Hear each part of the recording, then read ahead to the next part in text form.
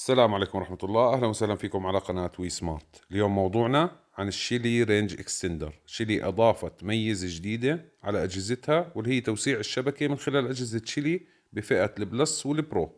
وهذه تعتبر فئة ال second generation من أجهزة Shelly. طبعا كل جهاز من أجهزة Shelly بإمكانه توسيع الشبكة لعشر أجهزة أخرى وسرعة الاتصال تصل إلى 10 megabit per second. وهي سرعة ممتازة للأجهزة الذكية. خلينا نجربها. خلينا ننزل على الكراج ونشوف وين راح نركب ال Shelly 1 Plus داخل الكراج لتقوية إشارة الواي فاي إشارة الواي فاي من منزلي مغطية تقريبا لداخل هذا المربع الموجود أمامنا. خارج هذا المربع الإشارة عندي ضعيفة جدا. أنا مفكر أركب ال Shelly 1 Plus بجانب الكاميرا وأغذيها بكهرباء من فيش الكاميرا نفسه. تقريبا راح أركب ال Shelly 1 Plus في الوسط في النقطة هذه الموجودة أمامنا. زي ما إحنا ملاحظين إشارة الواي فاي من منزلي خارج المربع هذا راح تكون ضعيفة جدا وبتوصل إلى نقطة واحدة فقط. خلينا نباشر بالتركيب. راح آخذ خط حامي وبارد مباشرة من فيش الكاميرا وراح أوصله مباشرة على العلبة اللي أضفتها بجانب الكاميرا. وراح نركب ال Shelly على سلك حامي وبارد فقط لتجربتها في موضوع ال repeater. وراح أضيف مع ال Shelly 1 Plus IKEA Zigbee repeater. هذا موضوع آخر خارج عن موضوع الحلقة هاي لكن حابكم تكونوا في الصورة أني أضفت Zigbee repeater في هذا الموقع مع ال Shelly 1 Plus عشان أغطي الكراج بالواي فاي وال Zigbee. فهذا موضوع رح نحكي عنه في فيديو قادم إن شاء الله. طبعا غيرت ال plug اللي بيجي مع ال IKEA Zigbee repeater إلى plug أصغر عشان يجي معي داخل العلبة اللي موجودة أمامنا. وهذا هو الشكل النهائي بعد تركيبهم داخل العلبة. طبعا أنا ساكن في الطابق الثاني فأنا في الكراج موجود يعني باعتبار بيتي أعلى من الكراج بثلاث طوابق. فإيصال إشارة ال Zigbee والواي فاي إلى هذا الموقع طبعا صعب جدا. فرح نختبرهم خلال الفترة القادمة نعمل عليهم automation ونشوف النتائج في الفيديوهات القادمة. وهذا هو الشكل النهائي بعد ما أغلقنا العلب.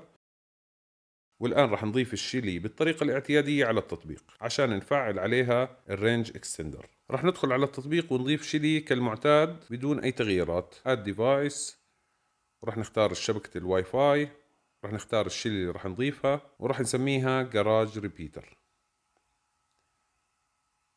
الآن ال Shelly جاهزة على التطبيق. الآن لازم نعمل لل Shelly تحديث إلى آخر إصدار عشان يظهر معنا ال range extender فراح أحدثها مباشرة الآن.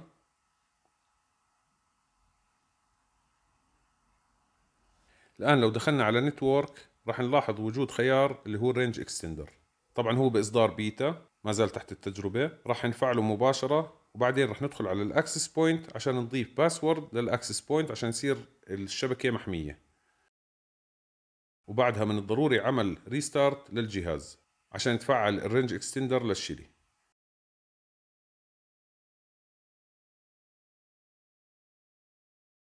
بعدها مباشرة راح ادخل على ال Shelly وراح أضيف ال password وراح أحط ال password اللي أضفته على ال access point والآن جهازي شابك مباشرة مع ال Shelly 1 Plus على الواي فاي الخاص فيها. خلينا نختبر سرعة الواي فاي راح أدخل على ال speed test ونختبر سرعة الواي فاي كما هو ظاهر أمامنا سرعة ال download 3 ميجا وسرعة ال upload تقريبا 4 ميجا. وهي السرعة تعتبر كافية لتشغيل الأجهزة الذكية.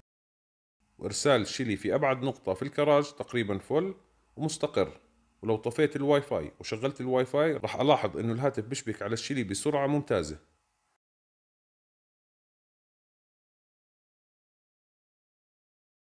ولو غيرت مكاني داخل الكراج كمان الإرسال مستقر والاتصال مستقر. بهاي الحالة صار بإمكاني أركب Shelly على كبسات الإضاءة الموجودة في الكراج وأحولها إلى سمارت. وإذا اختبرنا الإرسال في مكان التركيب كمان الإرسال ممتاز جدا. ثلاث شحطات ممتاز جدا لتركيب أجهزة شيلي. خلينا نجرب نشغل المضخة الموجودة أمامنا عن طريق التطبيق شيلي وأنا متصل بالشيلي 1 بلس. ونشوف هل الأمور مستقرة. كما هو ظاهر أمامنا اشتغلت بسرعة ممتازة وكأني شابك على راوتر المنزل. الآن راح أجرب أضيف Shelly 2.5 على ال range extender الخاص بال Shelly 1 Plus. ربطها مباشرة على سلك لل test عشان أجربها في الخارج. طبعا هاي أفضل طريقة لتجربة وإضافة أجهزة Shelly بضيفها في الخارج وبعدين بعد إضافتها على التطبيق والتأكد من عملها بشكل ممتاز بعدها بدخلها في المكان النهائي. طريقة الإضافة شوي رح تكون مختلفة عن المعتاد. أول إشي رح أتأكد إني أنا شابك على ال Shelly 1 Plus. بعدها رح أدخل على التطبيق ورح أحاول أضيفها بالطريقة المعتادة واللي هي على add device رح أحاول أختار إني أنا بدي إياها تنضاف على ال Shelly 1 Plus. ما راح تظهر عندي ال Shelly 1 Plus بهذا الخيار. بهاي الحالة أنا بحتاج أضيف معلومات الواي فاي بشكل يدوي فبحتاج اسم الواي فاي بشكل دقيق والاسم طويل كما إحنا ملاحظين Shelly 1 Plus مع ال MAC address. من مصلحتي إني أنسخ هذا الاسم نسخ عشان ما يصير عندي خطأ في الإدخال. وعشان آخذ اسم الواي فاي copy لازم ندخل على ال Shelly 1 Plus ونعمل copy من هناك لاسم الواي فاي الخاص بال Shelly 1 Plus. الآن راح ندخل على network. وعلى access point وراح نعمل copy لاسم الواي فاي الخاص ب Shelly. الآن راح أشبك الواي فاي على ال Shelly 2.5 هاي المرة عشان أعطيها معلومات الواي فاي اللي بدي إياها تتصل فيها. أحول اتصالي الآن على ال Shelly 2.5 وبعد ما الهاتف يعطيني رسالة بتأكيد الاتصال راح أروح على المتصفح وراح أرجع أحط ال IP نفسه اللي هو 33.1 بهاي المرة راح يدخلني على ال Shelly 2.5 لأني شابك عليها. ومن هون راح أدخل على ال WiFi mode وراح أحط معلومات الواي فاي الخاصة بال Shelly 1 Plus وراح أعمل connect الآن لو تأكدنا من الواي فاي راح نلاحظ إن ال Shelly 2.5 اختفت وهذا بأكد إنها اتصلت مع ال Shelly 1 Plus الآن بإمكاننا نضيفها عن طريق الدخول على ال discover device وفي حال ما استطاع التطبيق إيجادها راح نضطر نرجع لطريقة إضافتها عن طريق ال IP address فلازم نعرف شو ال IP address اللي أخذته هاي ال Shelly عن طريق ال repeater. فراح نستخدم برنامج مثل network analyzer ونشوف شو ال IP اللي اخذته ال Shelly. وفي طريقة أخرى ممكن نعرف عن طريق ال IP اللي اخذته ال Shelly 2.5 واللي هو عن طريق الدخول على ال Shelly 1 Plus نفسها. وراح نروح على network و network على ال range extender وهون تظهر عندنا الأجهزة المتصلة على نفس ال Shelly 1 Plus. بعد ما حددنا ال IP address اللي اخذته ال Shelly 2.5 بإمكاننا ندخل على add device by IP ونحط ال IP هون مباشرة وراح نعمل check device وبعدين راح تظهر عندنا ال Shelly add device وراح نسميها Shelly garage الآن ال Shelly جاهزة وبإمكاننا نجربها.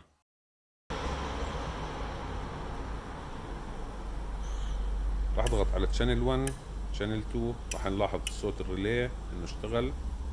الأمور شغالة بشكل سلس والكبسات كمان عم تعكس حالتها بالسرعة المناسبة والمطلوبة على وهذا بدل إنه ال Shelly نجحت نجاح باهر في موضوع ال range extender رغم إنه بإصدار البيتا. طبعا طريقة الإضافة الصعبة اللي واجهناها خلال الفيديو هاي مؤقتة لغاية ما ينزل الإصدار النهائي من ال range extender ويتحدث التطبيق ليتوافق معه. إن شاء الله يكون عجبكم هذا الفيديو إن شاء الله تكونوا استمتعتوا فيه. like و subscribe. السلام عليكم.